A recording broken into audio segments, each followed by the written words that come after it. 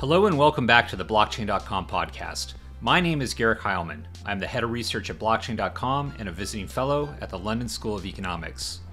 The regulation of cryptocurrencies varies significantly across different countries and jurisdictions. And while negative headlines like so and so country has once again tried to ban Bitcoin tend to get the most media attention, less well covered are the countries and jurisdictions that are actively welcoming and competing to attract crypto entrepreneurs and investment. Now, for years, Gibraltar has been praised by technologists and investors as one of the more savvy and balanced jurisdictions for crypto regulation. I recently spoke with Gibraltar's Minister for Digital and Financial Services, Albert Isola. Albert and I discussed a range of topics, including the secret to Gibraltar's early and ongoing success in attracting not just crypto startups, but digital entrepreneurs from other economic sectors like gaming, and the current state of crypto regulation, including Albert's thoughts on still emerging areas like DeFi, DAOs, and stablecoins.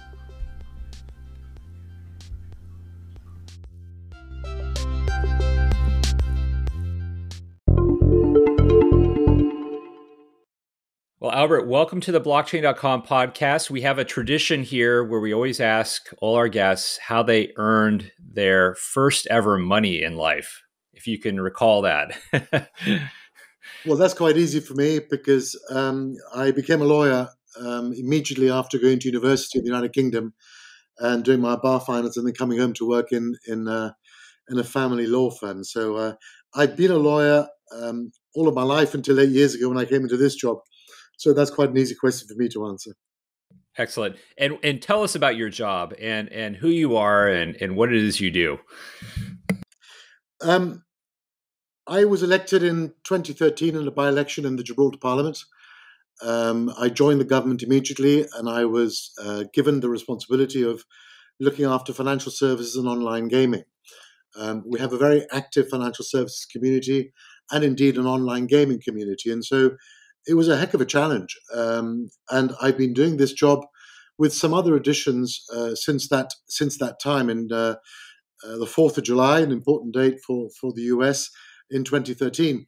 Um, I think the, the the main responsibilities I've had are to one preserve um, the business that we had, and two look at new opportunities. We, we are we are an agile community of people. Um, we always have been. Uh, and so we are very good at working within the niche areas. So, uh, how can you take advantage of our agility uh, in in making sure that the products that we have in both of those areas are fit for purpose, are current to the to and relevant to today's community? Because obviously, in that period of time, both financial services and gaming have moved on significantly. I mean, online gaming was telephone betting 25 years ago. They moved on to the internet. It then moved on to tablets and telephones and iPads. And so there's always uh, these industries evolving. And so when you have that responsibility, um, looking at things like blockchain um, were, were very exciting. Um, very exciting because they were very innovative, which we like.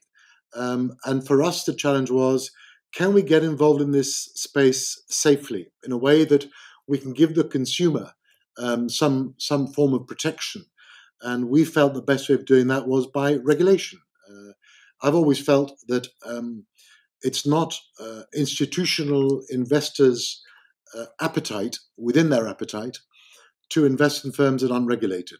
Uh, they have to be regulated to give the consumers that level of that safety net, that level of comfort. And so my job has has entailed bringing us to where we are today, working hand in hand with the private sector. Uh, government doesn't pretend to know uh, everything about everything or anything about everything. Um, so it's only by working very closely with the private sector that we can put ourselves in the position where we have sufficient comfort that the direction of travel is safe. Um, it preserves the reputation of the jurisdiction, uh, and it does so in a way that protects the consumers, which are at the forefront of everything that we do.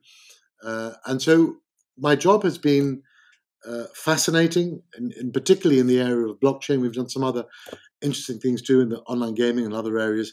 But in the area of blockchain, I think that's probably the one that's had most international recognition. Um, and, and it's great. It's great to see it where we've got to since we started in 2018, and where we hope to get to in the years to come. Absolutely. I just want to touch on the the gaming uh, background uh, and and Gibraltar's kind of edge there. Uh, and and eh, how would you characterize um, why Gibraltar has been so successful in in um, attracting uh, you know gaming platforms and and uh, that whole segment of the economy? And and um, you know, eh, I think there there might be some interesting kind of I guess parallels with your success there and and and your success in, in blockchain. Correct?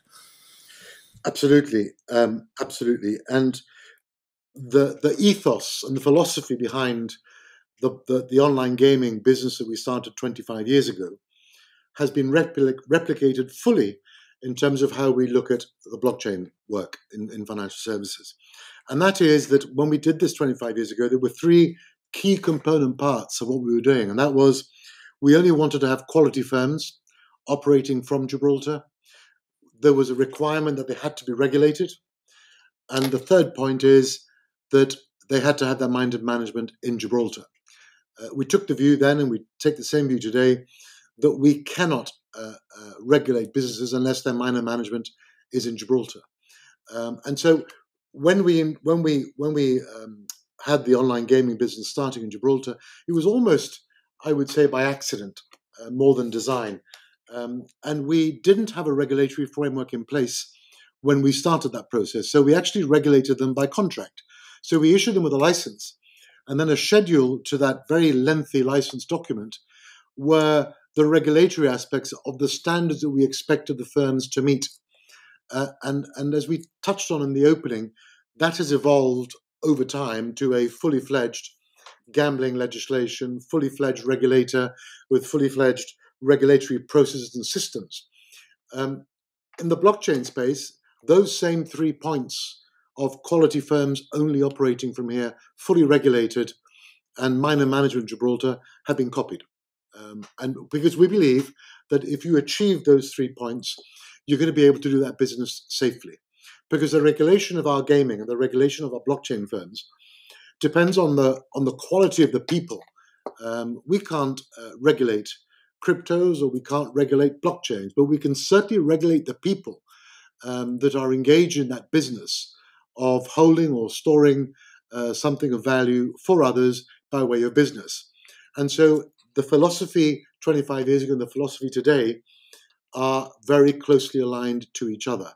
Um, and it's worked for us extremely well uh, in the online gaming space. We have today some 13 B2Cs um, and about another 14 or 15 B2Bs. We uh, account for around 75% of the UK online gaming business is being booked through Gibraltar. If you look at the US, um, the first partners of the major US uh, bricks and, and mortar ga- gambling houses are Gibraltar businesses because they have the technology that they need in order to be able to attract the businesses that they're looking for in the United States as more and more of the states uh, legalize and allow this activity to take place there in a regulated manner. So there are many uh, parallels to, to what we're doing on both sides. Um, and the online gaming space has, has been uh, a good one. We, we, we, have mostly household names. Uh, I mean, there's no, if you look down the list of 30 names, you will recognize probably 95% of them. Yeah, absolutely, and and uh, a very envious position that Gibraltar's in, obviously, by by having achieved such success there, and uh, um, but let's let's turn to blockchain now. And um, Albert, when do you recall first becoming aware of of you know Bitcoin and and and and what was your first kind of interaction with with it and and the industry?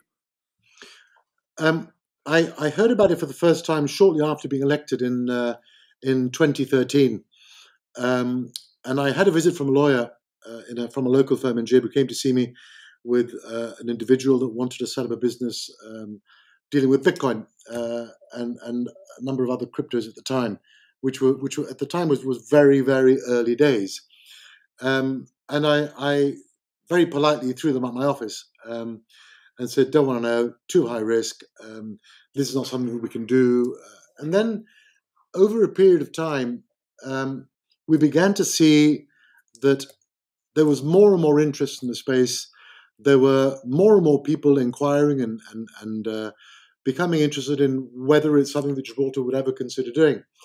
And so what we did was in 2014 we set up a working group um, with people from the private sector and people from the private sector outside Gibraltar, inside Gibraltar, an ex uh, deputy head regulator, and a member from my Gibraltar finance team.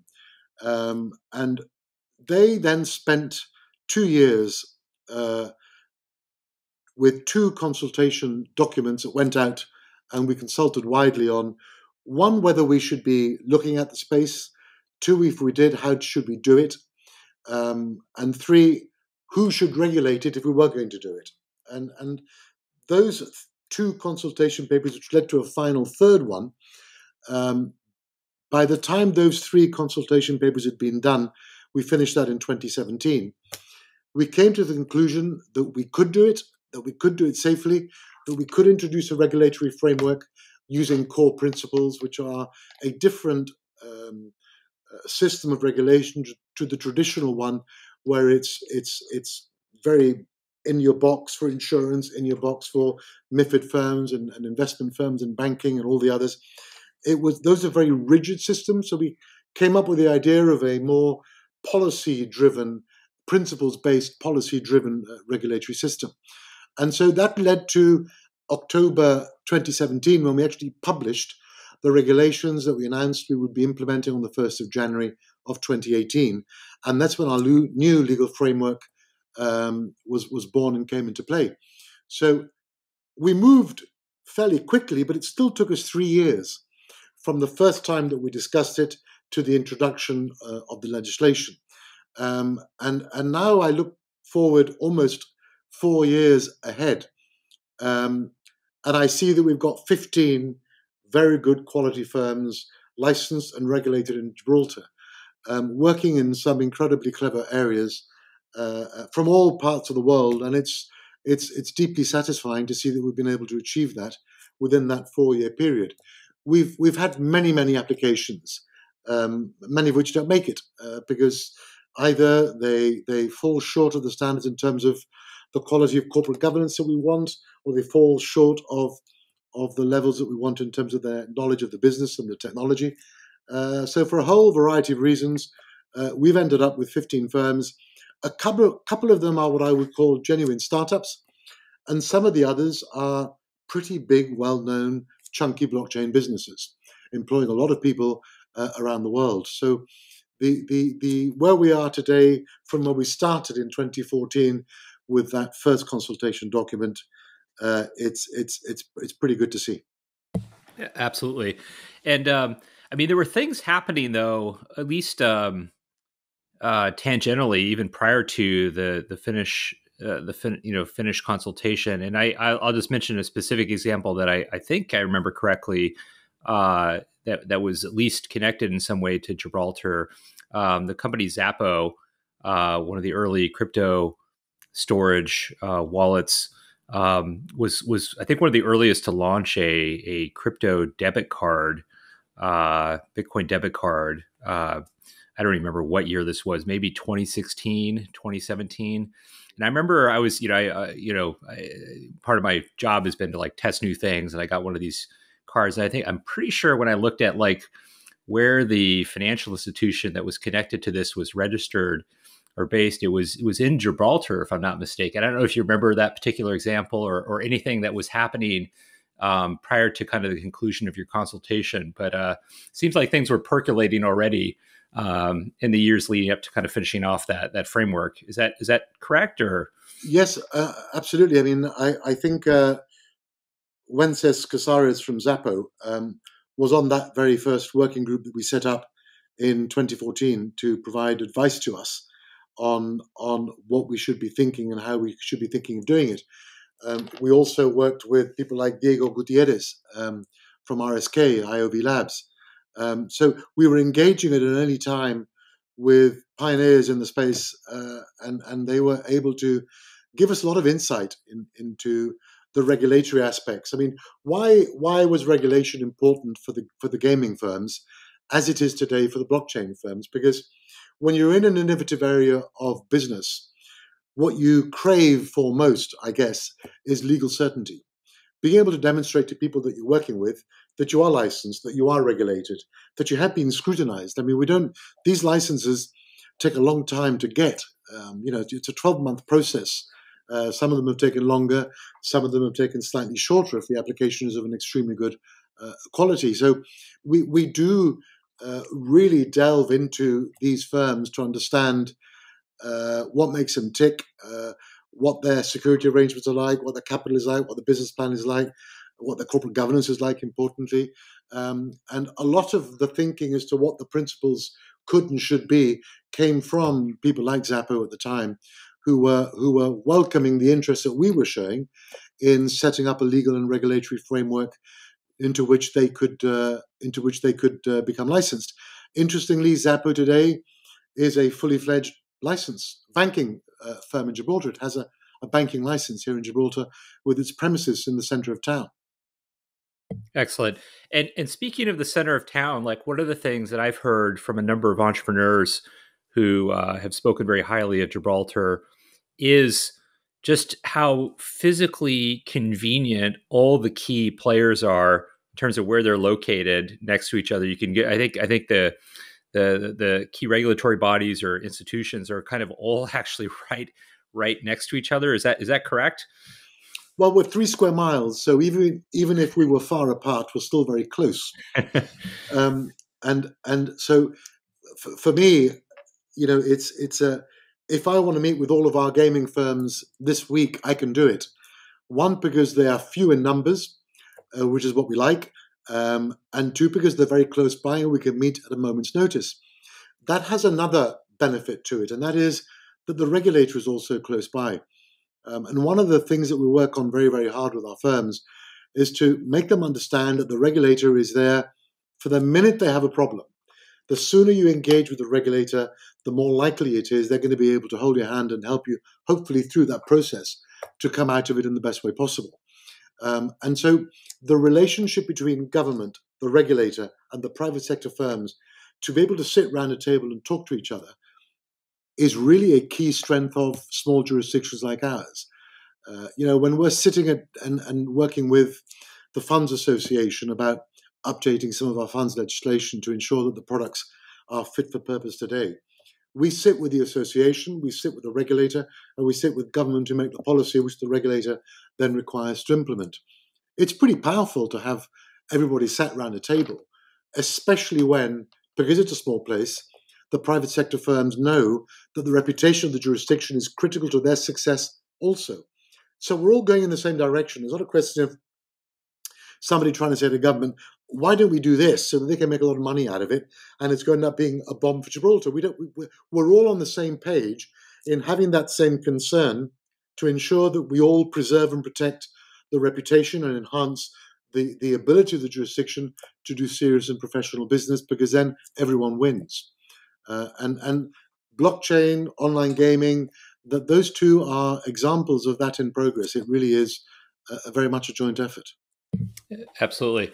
I, am glad you brought up kind of the the uh, the kind of ability of, of, of small jurisdictions like Gibraltar to kind of approach new technologies, new innovative corners of the economy in a in a different way, oftentimes than larger regulatory regulatory jurisdictions like the United States, like the EU.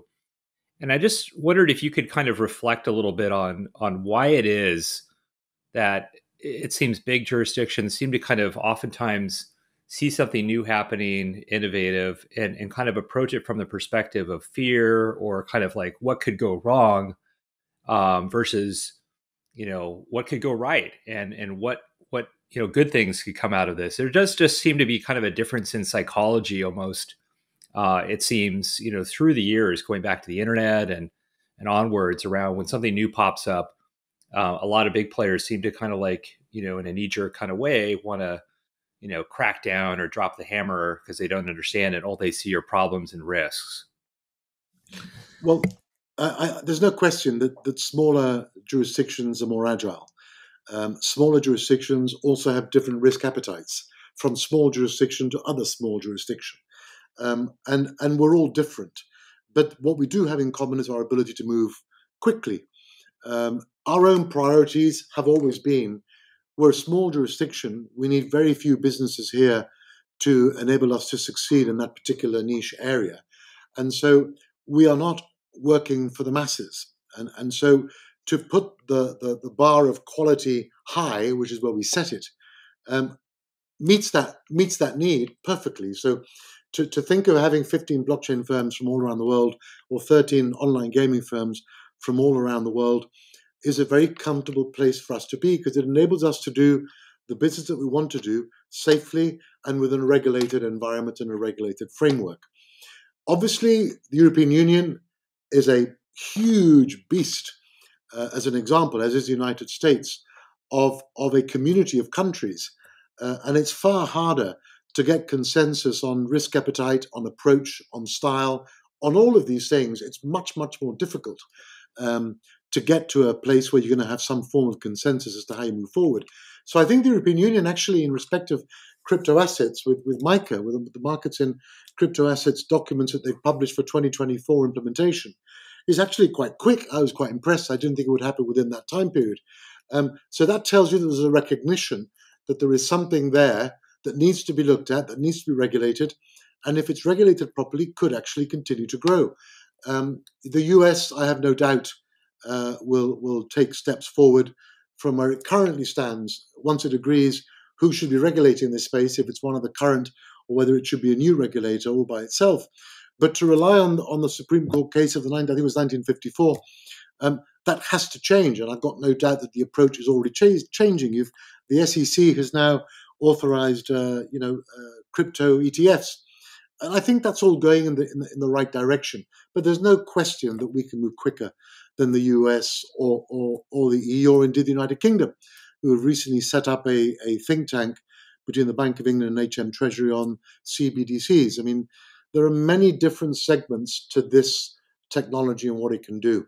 And there are many, many different countries looking at different parts of it. What we did was take a slightly different approach uh, in terms of focusing on the technology um, and, and, and, regulating the people that are, are, using the technology for commercial purposes. And, and I think the approach that we uh, have implemented has been logical, sensible, and, and in the circumstances enables us to move with the technology by having the principle based approach um, and that that's that I think was quite smart, and and uh, and I think it's it, it's worked it's worked very well for us. We'll see how other different uh, groups and countries uh, move forward, but you know, as I, as I mentioned before we started this this uh, interview, we are keeping an eye on what everybody else does. You know, if people do things better than us, we will review what we do to ensure that we stay fit for purpose. Um, and and we are very much in tune with the private sector, the regulator, um, to to ensure that, that, we are alive to the speed of the change and what we may need to be thinking about or need to be doing.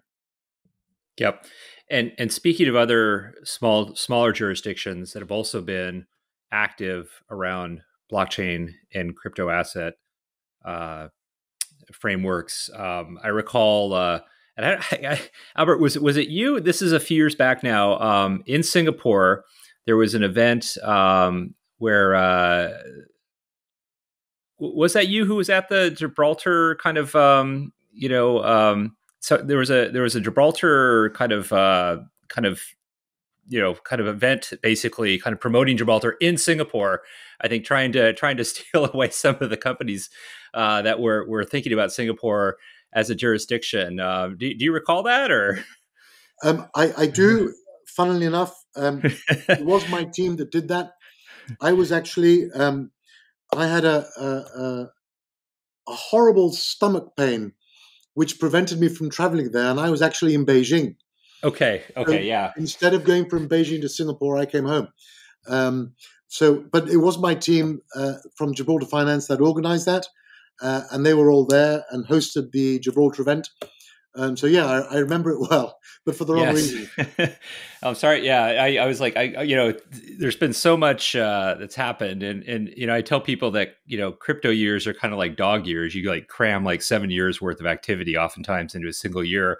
That things that happened a few years back start to get a bit blurry, but uh, but uh, it it it just it reminded me about how you know active um, smaller jurisdictions often are in outreach and, and going to places like Singapore. I mean, another example, a funny story that Dan Morehead at Pantera uh, Capital here in, in, California tells is how early on the the president of Luxembourg um, was was out in Silicon Valley, literally knocking on doors, uh, saying, "Hey, come to come to Luxembourg," and and that really made an impression on Dan uh, and and uh, you know, and, and that the, the president would actually make that kind of effort and really, you know, rather than say, "Oh, stay away," you know, you're bad, and you know, really, really putting an effort into opening the doors and inviting companies, innovators, entrepreneurs to come set up.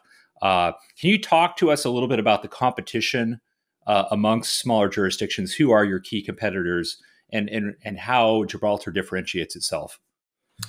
I, I I think the the premise to your question is absolutely right. Um, I mean, I can tell you that in 2018, uh, as soon as we'd uh, implemented the legislation, we spent the whole year traveling around the world. I mean, we did uh, Hong Kong, Singapore, Beijing. Uh, we went to Latin America. We obviously went to the UK. Um, we've been to Brussels. I mean, we've spoken and explained what we're doing and why we're doing it all over the world. And I don't think it's a, I don't think it's a coincidence that we've got firms in Gibraltar from every one of those areas that we went to in 2018, explaining and evangelizing what it is that our framework was going to be doing. Um, I think as a result of that, um, many people have taken uh, a slightly different, many jurisdictions have taken a slightly different approach. You'll recall in 2017, 2018, just as we were gearing up towards this framework, there was a lot of activity in ICOs and token sales. Um, and we were very concerned about token sales because although we believe that a token sale is a very uh, cheap and efficient way of raising money for startups, particularly in this space, we were concerned about the possibilities of people getting involved in that who shouldn't be involved because there was no oversight, there was no regulation. You set up a company, you issue tokens, and and and and you're away. Um, and that worried us an awful lot. Some jurisdictions went for that market. We specifically took the opposite route um, and extended immediately the Proceeds of Crime Act to any firm issuing a token. And what that means is that any firm issuing a token had to immediately appoint uh, a money laundering reporting officer and comply with our Proceeds of Crimes Act, particularly in the area of money laundering. So anybody subscribing for a token, they had to go through due diligence, source of funds, know your customer, all the traditional financial services uh, steps you're required to take before you onboard a client. We applied all of those onto the token sales. And we carried on working on the legal and regulatory framework for the blockchain, which is what we did. So if I look today at um, which other jurisdictions are most closely aligned to what we're doing, I think they're very, very different. And each of these jurisdictions has taken a different approach. I don't. I think different different countries have different forms of licensing but we're all very, very different to each other. And that's nothing new. If, if you go back 20 years to how different jurisdictions regulated trust and company managers um, or regulated how e money institutions were operating, even then, they were all very different. Um, and I've always said it's horses for courses. You know, different people want different things from different types of regulation. Uh, and we've gone for the fully fledged belt and braces approach to, to regulation in this space. Uh, we don't believe in light touch regulation. We believe on fully fledged, full on regulation, which is why you've got a complete process. There's no shortcut. You've got to go through the whole thing. Um, it's not cheap, it's quite expensive, and it takes quite a long time. But that's the only uh, approach that we believe is going to give the firm the confidence uh, that the, the regulatory approach is the right one. And if I look at what's happened in gaming, the gaming firms themselves use the fact that they're based in Gibraltar as a badge of respectability because of the reputation that we enjoy as an online gaming jurisdiction. This is exactly the same way we're going to be going with the blockchain. The firms that come to Gib know that they are joining a club of well known, good repute, high quality, well regulated firms. And that's good for us. Um, so I don't see any other jurisdiction competing with us. I see all the other jurisdictions getting to the same place in slightly different ways. And if you look at it a slightly different way, um, my ambition and, and, our ambition here has always been for to, to get to the stage where there are an international set of standards for firms operating in this business. Um, and the sooner we get to that point, the better. So the more jurisdictions can regulate, the better, because they are each going to have a minimum set of criteria where we will all be on the same level playing field and we will all be able to give to the to the blockchain industry a degree of certainty. Um, and the sooner we get there, the better. So, you know, our position is we welcome the, the, the EU's approach. We welcome the US moving forward, the UK moving forward, and other smaller and larger jurisdictions taking a pragmatic approach to how this sector can grow in the future. Because there's no doubt that the technology uh, is going to take a more and more important and more significant position within financial and other different types of businesses in the future. Uh, and so the quicker we have this international level of standards, uh, in my view, the better. I want to just touch on, I think, something really important you mentioned, which is, uh, you know, the the the fact that you are attracting, you know, some of the most well-respected entrepreneurs and innovators in the space, like Winsis and Xapo, and um, you know, you're having kind of taken a more skeptical view of the ICO boom in 2017 when other jurisdictions were racing to try to open the doors and, and capitalize on that, you know, that that wave of investment and and innovation. And and you know, it, it almost sounds to me kind of like uh, you know, you're you're in some ways um, you know, eh, there's there's some similarity almost with what a venture capitalist kind of does in terms of screening and and doing diligence and and um, you know thinking about you know the right horses to back, so to speak. And I just wondered, is that is that is that off the mark? Is that or is that a, a reasonably fair comparison to to how how you're approaching um, some of these hot new trends? I, I think there's no question that um, our desire is to attract good quality firms. Um, and by seeking to attract good quality firms, by forcing them to go through a regulatory licensing system where they've got to be scrutinized to a, a, a quite a severe degree, you're not going to get somebody submitting to that procedure and process unless they are confident that they're going to come out at the other end. So, that in itself, just by having regulation and a licensing system, is going to is going to cut out a lot of people who will not hit the mark that we require. So, the consequence of licensing is that you do only get firms that are serious about what they're doing coming through your system. Uh, so, so the objective of quality firms is achieved in the main by having a regulation, a regulatory system in place. Um, so, so yes, it, it, it is our publicly stated mission to attract quality business to Gibraltar, which is which is part of the team of people that want to be regulated and want to be scrutinized and want to work in accordance with minimum standards and minimum rules. Um, you know, we comply with every single EU directive, even though we've left the EU um, as of 31st of December last year. We still have those on our domestic statutory uh, uh, books. So every firm in respect of AML, exchange of information, all of those laws are, are on our books and we exchange information and we require every single firm to adhere to the highest standards of, of AML, due diligence, and know your customer, source of funds. All of these things are, are inbred into everything that we do, not just blockchain, of course, but in everything else. Blockchain, I think, is the, well, probably the first jurisdiction that forces exchanges to go through this process when they onboard a client. And it's difficult, but there's a price to doing business properly. Um, and we are quite uncompromising in how we do that. I wonder if we could briefly touch on some of the uh, kind of uh, hottest, for lack of a better term, uh, kind of areas of crypto regulation and and what Gibraltar is doing or is, is thinking about these particular categories.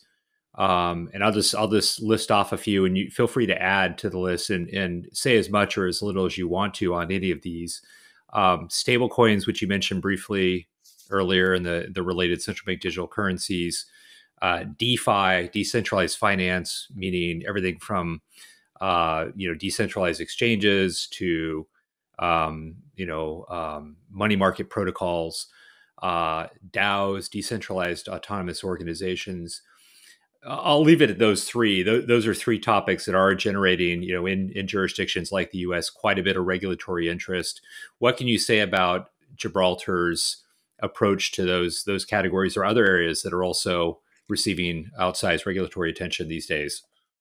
Well, our, our position is that the net that we've thrown around um, the technology in our in our regulatory approach captures all of those um, all of those items, and if, and if they're not captured, they are not legal.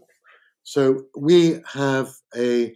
I mentioned we work with the associations. We have an association called GANT, which is the Gibraltar Association for New Technologies, um, and they that that association comprises of primarily um, DLT firms, lawyers who advise DLT firms, accountants who advise DLT firms. So it's the professional body that we work with, and they are in the process of of doing a thinking paper on DeFi, uh, and it's going to touch on some of, on DAOs and some of the other bits and pieces that you've mentioned there, stable coins, and also includes to an extent how we should be looking at NFTs. Um, so our, our, relationship with the professional association uh, is one where they will float ideas and they will produce thinking papers which will hopefully help government to formulate its own policy uh, hand in hand with the regulator. So, as soon as we get that thinking paper from uh, Gant, we will then have a discussion with the regulators what we think before we go back to the association and, and test and decide whether we want to pursue any of those avenues further by throwing the net out wider um, in, in terms of wider consultation documents. I can tell you that, that one of the things that we've done most recently, and we're in the process of doing now, um, is we are in consultation with the, the, the, industry in Gibraltar on what we call the 10th principle. Our, our, our legal and regulatory framework is based on nine core principles, and we are just about to introduce a 10th. And the 10th is in relation to uh, market abuse and market manipulation. Um, it's the first uh, regulatory attempt at dealing with market manipulation in this area. And so it's taken us seven or eight months working again with a private uh, working group from the private sector, uh, my, my uh, office downstairs, and the regulator to come up with a what is in effect a, a, a short statement as a 10th principle and then some guidance notes to help uh, uh, firms understand what it is we're trying to do. Um, it's obvious why we think that is necessary. Uh, and what we're doing, again, our little bit in trying to see whether in a new area like this, we can begin to shape thinking in terms of how we can best protect consumers from market abuse. So, again, the approach of a public private sector partnership with the regulator sitting around the same table in all the areas you've mentioned, whether it's DAOs or whether it's DeFi, um, or whether it's market manipulation, is what is going to lead us to be in what we all jointly consider to be the best possible place for the jurisdiction. That's that's fantastic. Uh, you know, I, I, think people, the critics of of the the blockchain space, the crypto industry, uh, don't appreciate always how things do get better, and and if there are problems, you know, that emerge, as there often are with anything new, you know, the internet's a famous example of this. How a lot of bad actors flocked to it early on, um, took advantage of people's you know naivete and a familiarity with with the with new technology. That's just you know often how things go. You're going to see problems emerge, uh, and and you know uh, it's not like that's the way it always has to be. And and there can be improvements over time through a focus on better data transparency. You know, you know, professionalizing, you know, bringing proven practices from other sectors of the economy to things like exchange markets. These things all make make a difference. They're happening, and uh, I, I, think crypto markets continue to become, you know, uh, you know, better for for lack of a better term. Um, Albert, uh, what what else have we not covered? I, we're we're just about running out of time, and I, I want to you know give you a chance to bring up anything else uh, that we haven't touched on that you think is important. Of course, we want to let people also know where they can go to learn more about you and Gibraltar. But uh, yeah, w- what else would you would you say here as we we get close to the finish? I think Eric, to be honest, you've covered um, all of the points um, that I can think of in terms of our approach, our thinking, our philosophy and why some people are coming here. Um, I, I, don't think there's anything. The latest uh, is uh, the only one thing that I would mention is we have um, teamed up with uh, IOV Labs. We are in the process of doing a transition uh, in government uh, through e-services to digitizing our government interaction with the, with the, with the private sector, and we have agreed and announced last week with IOV Labs that they are designing a blockchain part of that. So we are not just going to be talking blockchain, but we hope at the end of this pilot project, uh, within 12 to 14 months, to be able to be using blockchain ourselves, um, which is which is quite a nice uh, uh, touch to everything else that we're doing in the space. Uh, thank you for mentioning that. I, have long been very excited about, um, yeah, broadening the the range of things that blockchain can can do, and um, you know, there's some early work being done on things like digital identity, and exactly, you know, there's various efforts around voting, and uh, these things are not easy. I, I, was involved in the UK with looking at um, you know using blockchains for food supply chain and and yep. evaluating some some work there by the Food Standards Agency, and it's this is hard to do uh, to be totally totally frank uh, to make this stuff work. But there is certainly some really interesting possibilities around bringing some of the core principles of blockchain technology, the transparency, the auditability, the traceability, um, you know, the the the tamper resistance, et cetera, et cetera, to to sectors of society that would really benefit from having some some added security and, and enhanced transparency. So uh, applaud your efforts there. Albert, it's been a real pleasure. Thank you so much for making time. My pleasure. Very nice to meet you, Garrick and Lorna. Thank you for your time, and uh, and I hope uh, to see you again in the in the near future.